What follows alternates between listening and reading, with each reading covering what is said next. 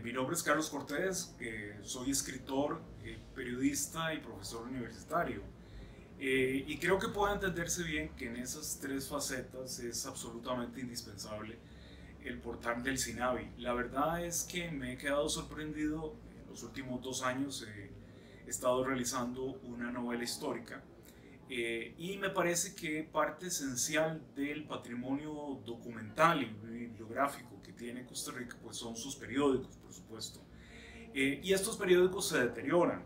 Y eh, la única posibilidad de que estos periódicos no se deterioren y que al mismo tiempo puedan ser consultados es a través de la digitalización esencial que ha hecho el SINAVI. Y entonces yo he consultado años enteros, eh, periódicos completos, eh, de una manera muy rápida, de una manera además este, muy, muy fidedigna gracias a este, a este portal.